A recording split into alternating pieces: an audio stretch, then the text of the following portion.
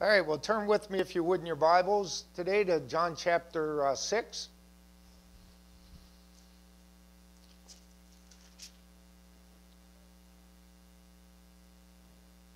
We're going to use as our scripture passage today John 6 22, and, and uh, really uh, through the end of the chapter, let's say. That's a long passage, right? But uh, we're not necessarily going to you know, go line by line through it, but there's some things in there that I really wanted us to look at. Um, on the following day, when the people who were standing, John 6 22, were standing on the other side of the sea, saw there was no other boat there uh, except the one which Jesus had entered. But then they saw, uh, and I'm just kind of paraphrasing here, then they saw that there were no other boats, etc. And when the people therefore saw that Jesus was not there, nor his disciples, they also got into the boats and came to Capernaum seeking Jesus. These people were sailing across the Sea of Galilee seeking out Jesus. They were sailing across the sea, they were following him, going everywhere that they knew he might be, seeking him. You know, but Jesus, you know, he's no fool. He, he, uh, he, they come to him and they say to him, Rabbi, uh, when did you come here? And he answers them. Notice something we often ask questions of God, and God knows that's not the real question in our hearts. And, and you know, people often throw up all sorts of smoke screens. When you go to uh, speak the gospel to somebody or you, you start to introduce Jesus into a conversation, they'll throw up all sorts of smoke screens. You know, well, where did Adam's uh, son's wife come from? Who cares? What's that got to do with your eternal salvation? You know? you know, there, there's, there, there's so many smoke screens that people throw up. Rabbi, where did you come from? How did you get here? And Jesus answers them and says, Most assuredly, I say to you, you seek me not because you saw the signs, but because you ate of the loaves and were filled. Now, Jesus is referencing back here to a couple of days before, a day or so before, when he had fed the 5,000 uh, in the wilderness, right? He's referencing back to that, and he's saying to them, You ate of this food. You know, it's kind of the same crowd is following him now, and he's saying, You ate of this food and you were filled. So, you know, it's kind of like all of these reasons why people were following him and coming after him seeking signs, seeking all sorts of things. You know, so uh, I, I want to ask us today why did we come to Christ? What, what, what brought us? You know, many people come seeking healing. Many people come seeking, you know, financial things. Many people come seeking all sorts of things sustenance, blessing etc., etc. You name it. There's many, many reasons why people come to Jesus to begin with. But the bottom line is, once they've come, now they have to deal with the issue. They have to deal with the real issue. And that real issue is not the healing, it's not the finances, it's not the whatever, you know, heartbreak they're suffering from at that moment, right? The real issue is we are all sinners, need a Savior. If we come to Jesus for any other real reason, any other reason than that, at the very bottom line, at the heart of it, at the moment of salvation, that is the realization that we must have that we're sinners and we need a Savior. Apart from that, you know, the, all of the external things are merely that external things. What if you come to Jesus and He never heals you physically? Is He ever le- is He less God and are you less saved? no, of course not. He is God, period. And when you come to Him and surrender your life to Him and you accept His shed blood as, as the atonement for you and your sin, eh, when you accept Him as, as the price paid for you, at that moment you are saved. And that's the end of it. You're saved.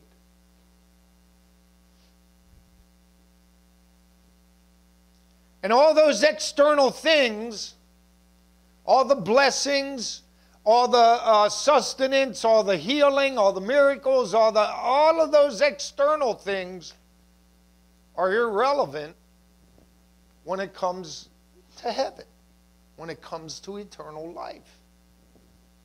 You know, St. Peter is going to be sitting at the gates saying to you, Well, you know, were you healed? Were you, you know, uh, did you tithe?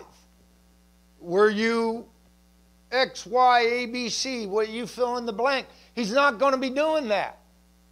First of all, St. Peter ain't going to be sitting at the gates anyhow. You can forget all, all that nonsense. But, it, you know, just for the analogy's sake, that's not what he's going to be asking. Right?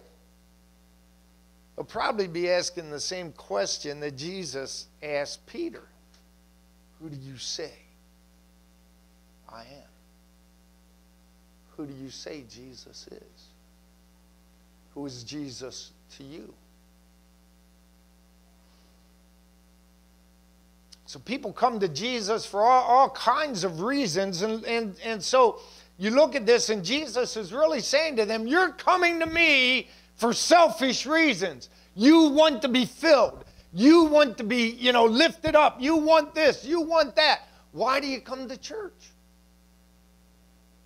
Now, sure, you, you come, you want to be encouraged, etc., etc. But you know what? So what about your encouragement? So what? You're not here to be encouraged. You're here to worship God. You're here to, to uh, honor Him, to worship Him. That's different. That's different. We have, you know, multiple mega churches all over the county. If you want to feel good, go there. You know, they'll make you feel good. They'll never mention sin. They'll never, you know, uh, uh, you know, really hit the crux of the matter in that regard because they don't want to mention that word in their service. I got to tell you, if we don't mention that word in our service, we might as well not mention Jesus either. Because the only reason to come to Him, the only lasting true confession is I'm a sinner and I accept the blood of Jesus. I accept His crucifixion, His resurrection as atonement. His blood is my, my atonement.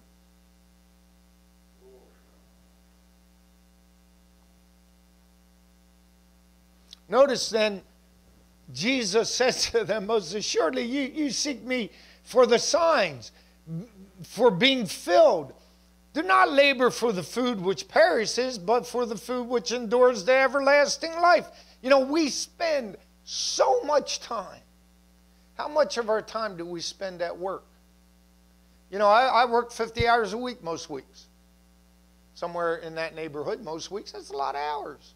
It's a lot of time. It's a full, what, third of our lives or more that we spend at work.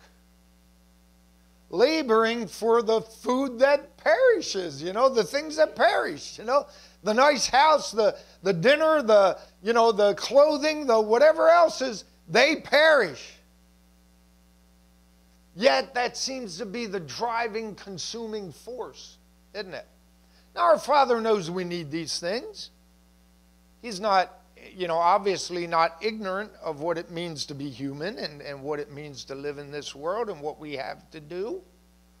But don't labor for that food, labor for the food which endures to everlasting life, which the Son of Man will give you because God the Father has set his seal on him. And notice what they say to him. Now listen, again, you see, they're looking at the natural. You know, they were, they were with Jesus in the wilderness and he fed them. They were happy about that. Now, what do they say? Master, Rabbi, what, what do we have to do to work the works of God? That sounds like a good question, except do you hear the emphasis in it? What do we have to do? What must I do? Now, you know, in some ways it's good to say, What must I do to be saved? But that's not what they're asking. They're saying, What must I do to be worthy? What works must I do to be worthy of the kingdom? That's what they're asking. And we got to be careful as Christians that, that we don't set our sights upon our own deeds and our own works. What must I do to find the, the favor of God? Must I attend church every Sunday? Well, as your pastor, I'm going to tell you, yes, that's on the list. No, I'm just kidding. I'm just kidding. It's not on the list. It's not on the list. Do I believe you should attend church? Absolutely. Do I and there are many biblical scriptural reasons why. However, however, not attending church will never keep you out of heaven. Right? That's right. That's right. What about tithing? Should you tithe? Oh, that's a sticky subject with a lot of people, but the answer is yes. I know many believers who say, oh, no, that was Old Testament. yeah. And we're not under the law. All that is is somebody trying to keep their money and not give it to the Lord. That's all that is. Now, listen, I'm not, this ain't a message about tithing. Will, will failing to tithe keep you out of heaven? No. Yeah. It won't keep you out of heaven. You know? Uh, so, what are the works we should do? What are the works we should do? They, they asked him. You know, they're expecting some grand answer. Like, go do this, go do that. You have to, you know, you know all those things that we oh, struggle to do. That's what they're expecting. And what does he say? You read it. What does he say?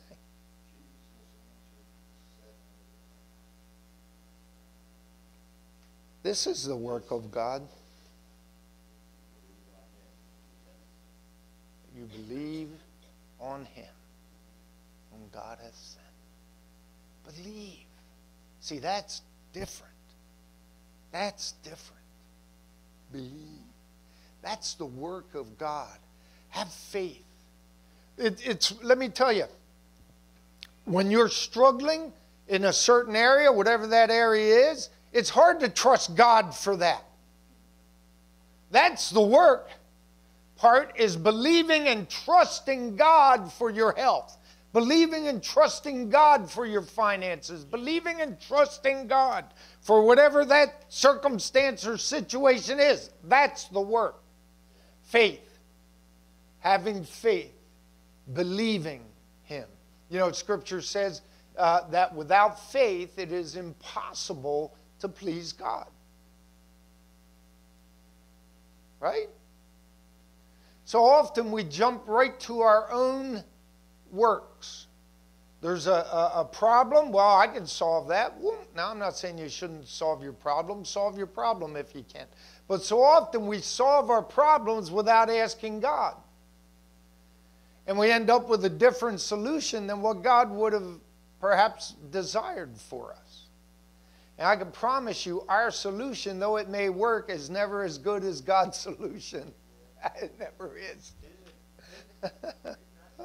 it is. It is. So, what shall we do to be acceptable to God? Believe.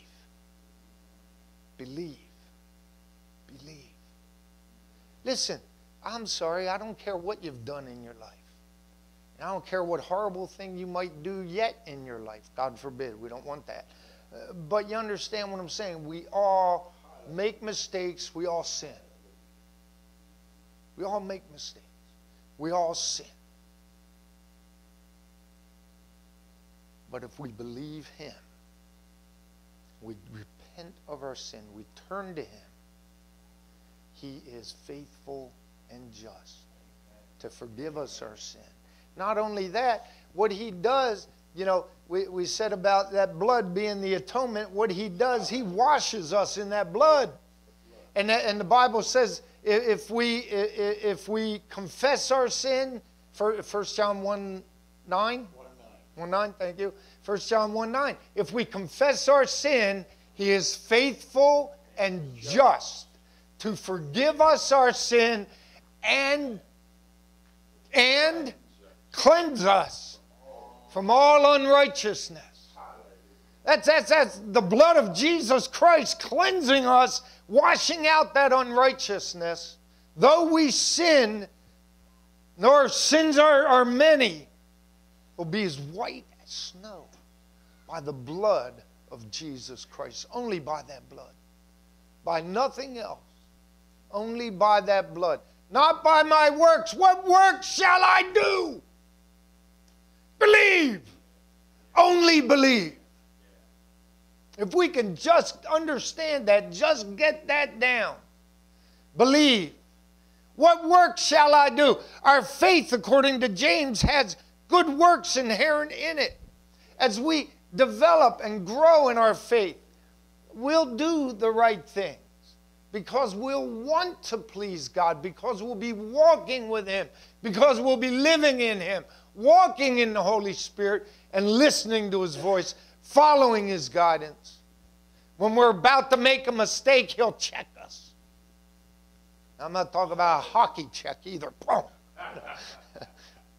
it's different, a different kind of check. huh? Some of us might need lightning. he might give you a strong check sometimes.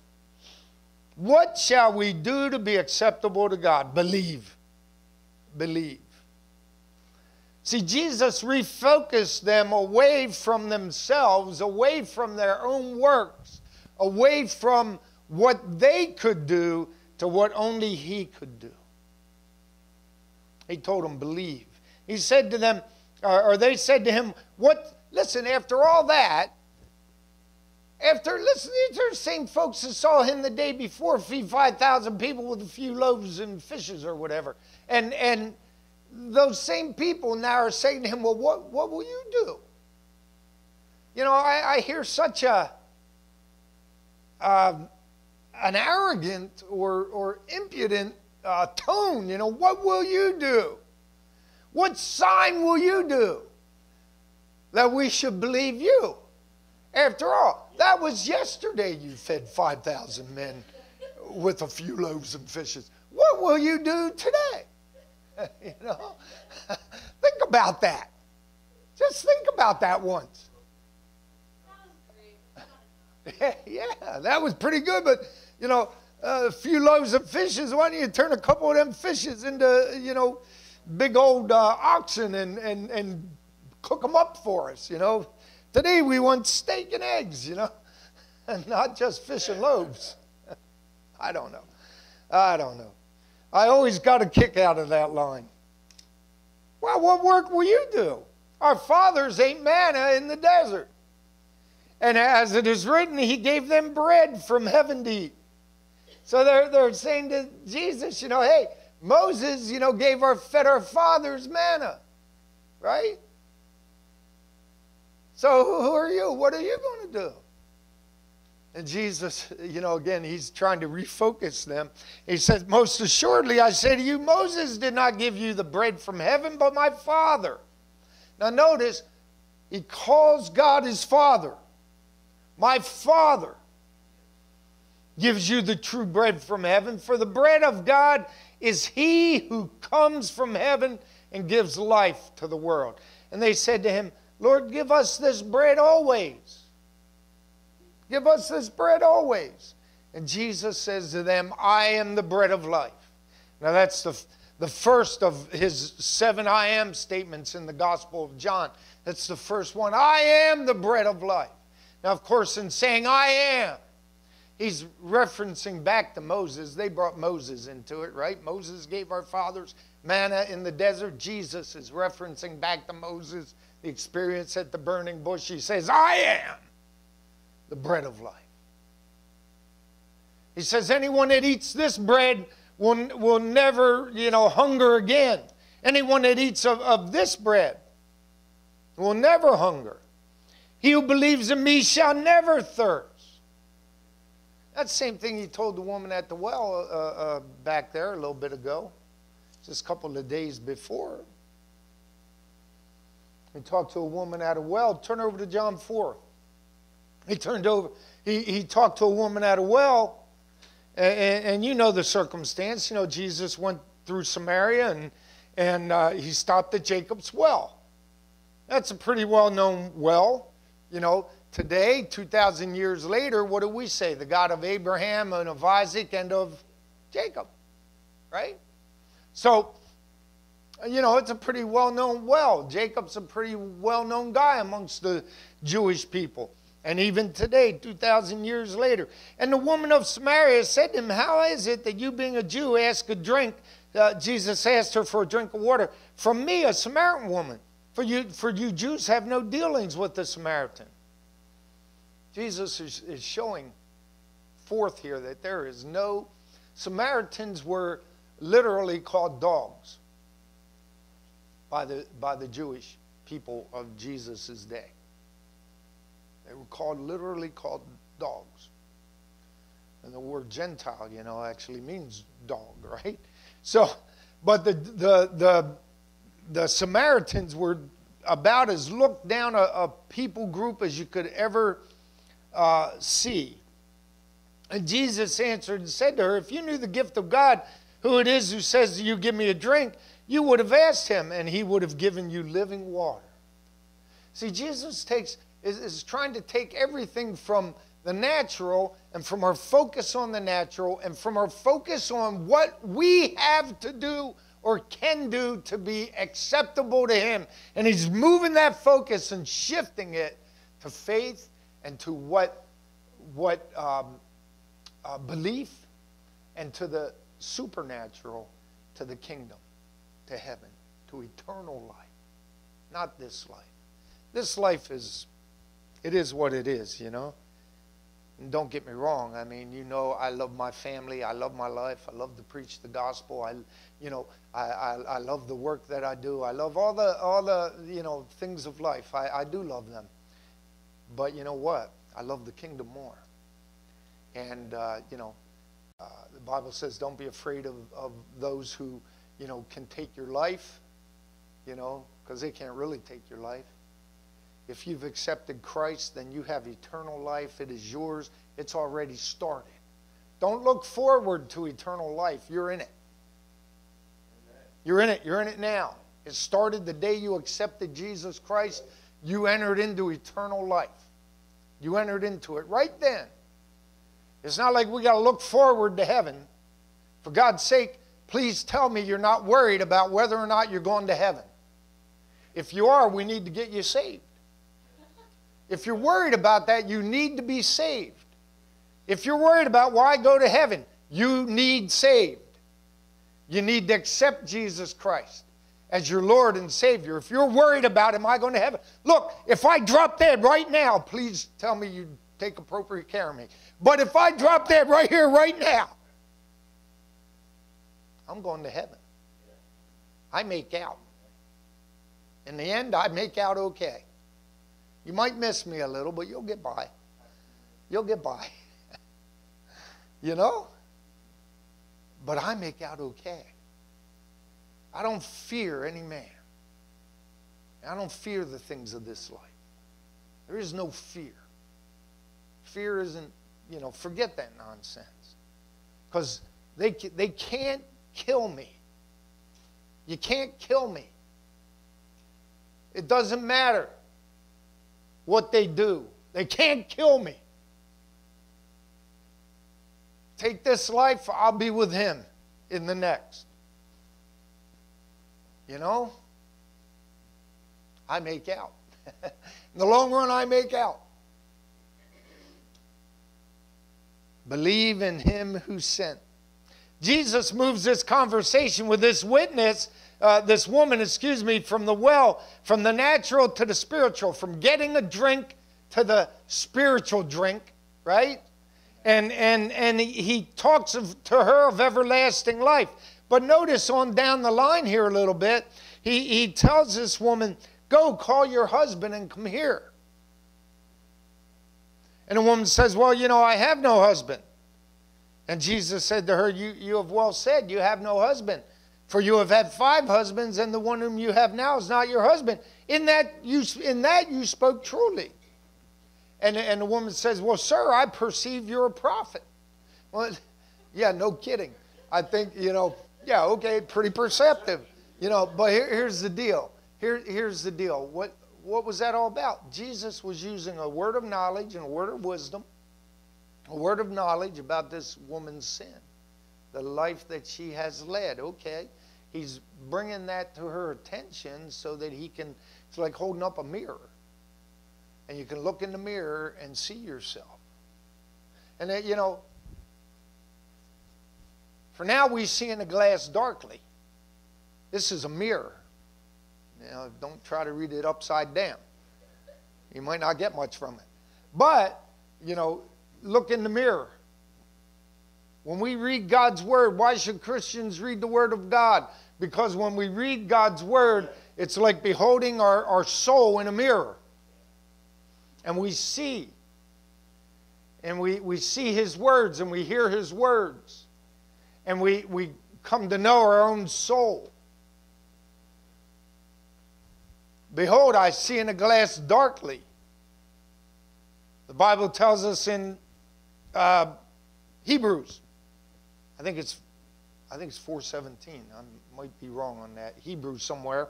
You look it up. For the word of God is quick. What's that mean? Quick. Alive. Living. Living. It's quick. It's, yeah, timely. Quick. It's alive. For, for, for God shall quicken your mortal body. For his book is alive. That word is alive. And when we read it, it takes root in us and grows. That's why Christians should read the Word of God. For the Word of God is quick, it's alive, it, it is more powerful than any two edged sword, dividing asunder bone and marrow, soul and spirit in other words, it, it, it has the ability to cut to the very chase, to the very uh, uh, quick, to the very depth of our soul and reveal ourselves to ourselves. Because, boy, I know sometimes when I'm doing something wrong or thinking something wrong or I have some, you know, foolish thought in my head, I know it's wrong and yet I can justify it just as quickly as I can think it. right? But the Word of God has the ability to cut through that, get to the depth and the core of that matter. That's why Christians ought to read the Bible. Because it's alive, it's quick, it's powerful. And it has the ability to, to lay aside uh, a cut soul from spirit. In other words, you know what your soul is, right? It's your mind, your will, and your emotions. Your mind, your will, and your emotions. That's your soul. And that wars against the spirit, right? That wars against your spirit. So often, your spirit man wants to do what's right, and your soul is making all kinds of excuses and trying to push you in another direction. The Word of God can overcome that. But we have to partake of that word. You can't partake of the word of God watching something else on TV. You can't partake of the word of God, you know, without opening it and reading it and studying it. Can't partake of the word of God without loving it.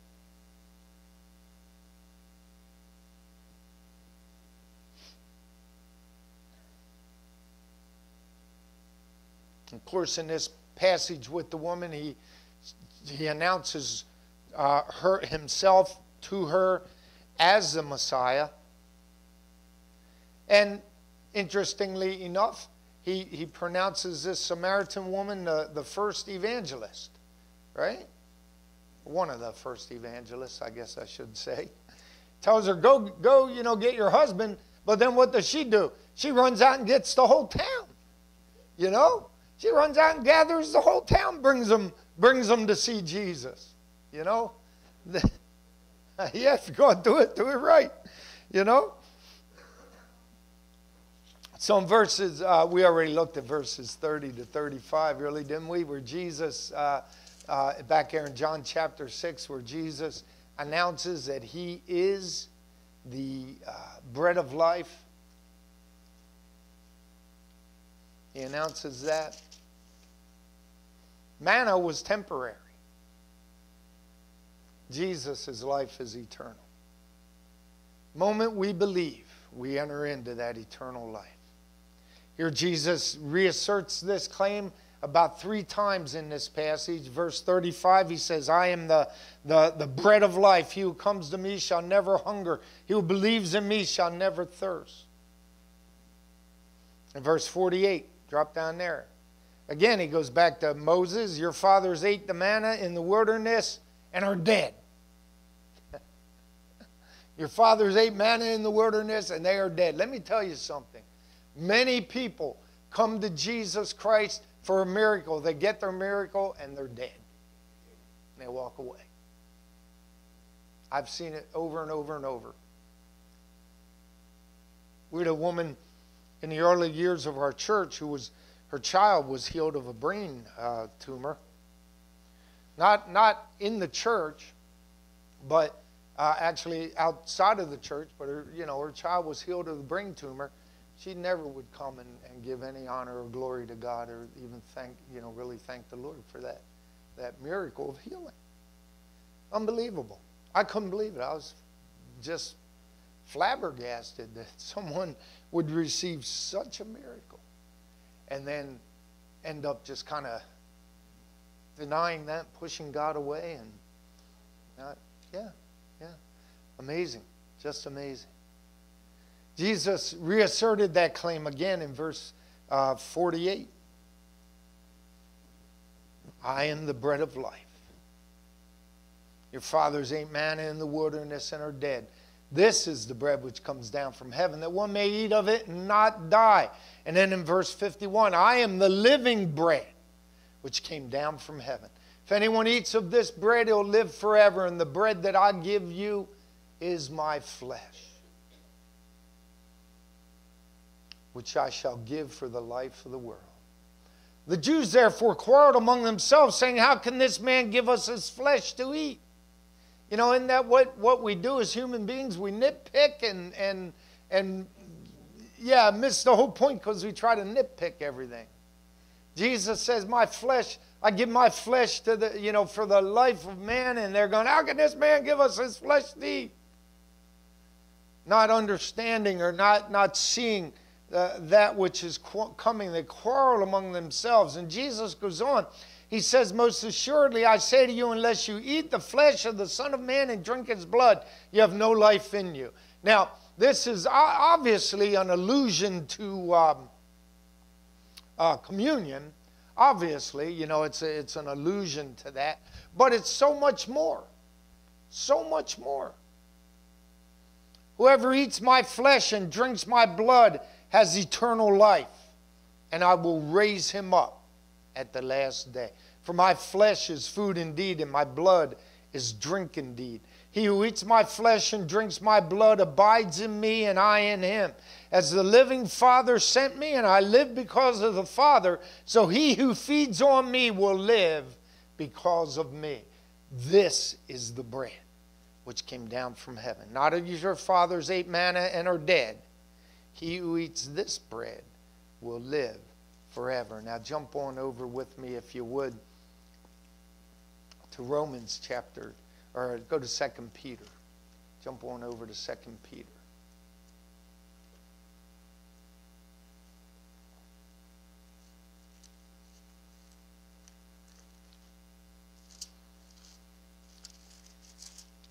Second Peter 1.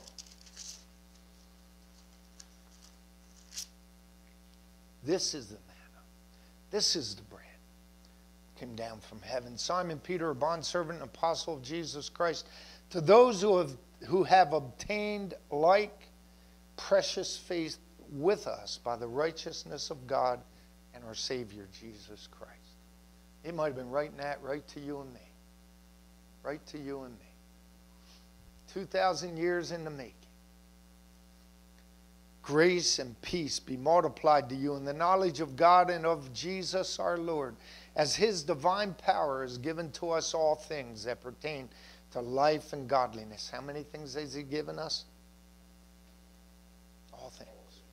Everybody say, all things. What's missing? Nothing. He hasn't, he hasn't withheld anything pertaining to life and godliness. All things he's freely given us, freely given. All things. He's given us, his divine power is given to us all things that pertain to life and godliness through the knowledge of him who called us by glory and virtue by which we have been given by, by which have been given to us exceedingly great and precious promises we have a better covenant than our forefathers a better covenant than abraham that, th- that through these you may be partakers of the divine nature having escaped the corruption that is in the world through lust you can be a partaker of God's divine nature. When you accept Jesus Christ, you partake of the divine nature. That, that passage about the bread of life didn't just refer to communion, it referred to so much more. The actual acceptance of Christ, the actual uh, uh, knowing of Him and His love and His mercy, His grace in our lives. Now, flip on over, if you will, we partake of his divine nature to Romans chapter 3. We partake of his divine nature. In him is life. There's no darkness at all. We partake of that life, that light. We partake of that light. In him is life. In him is peace. In him is joy. In Him is faith. In Him is hope. In Him. We freely partake of these things. You know? Freely partake of these things. Romans, the third chapter. Look over verse 21. And we're going to close with, with this passage. But now the righteousness of God apart from the law is revealed. You remember how the, the, uh, the people who were talking to Jesus, they were looking, they were looking for how do, how do I do the works of God? What must I do? What works must I do? And here God, God is saying us, but now the righteousness of God apart from the law is revealed. Apart from what you must do or what you can do. You do realize that even, even Mother Teresa, would have gone to hell apart from Jesus. If she did all the good work she did without the knowledge of God, without loving Christ, without accepting Him, she'd have been a good person in hell. You think of the best person you know if they don't know Christ.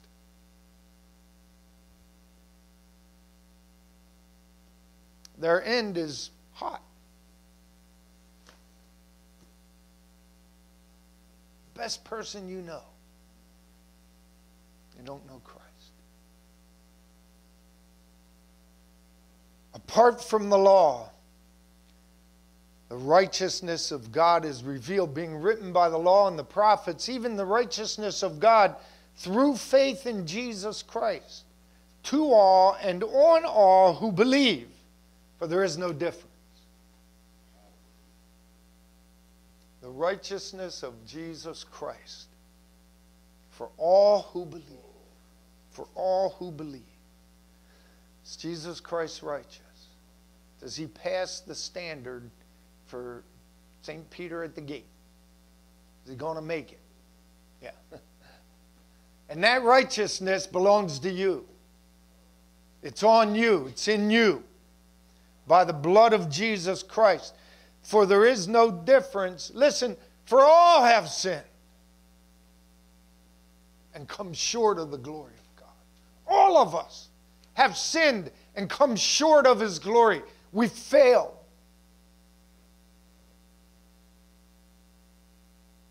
Go online and take the entrance into heaven exam. You fail. If you're not relying on the blood of Jesus Christ, anything else is an F.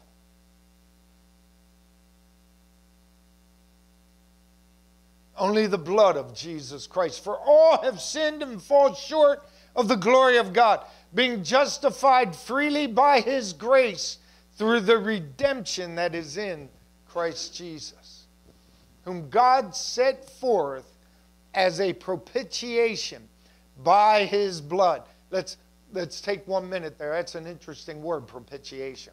It's a controversial word nowadays.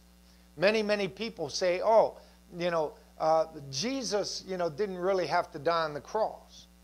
Because, you know, God is love, and after all, loving God would never send anybody to hell. Right? No.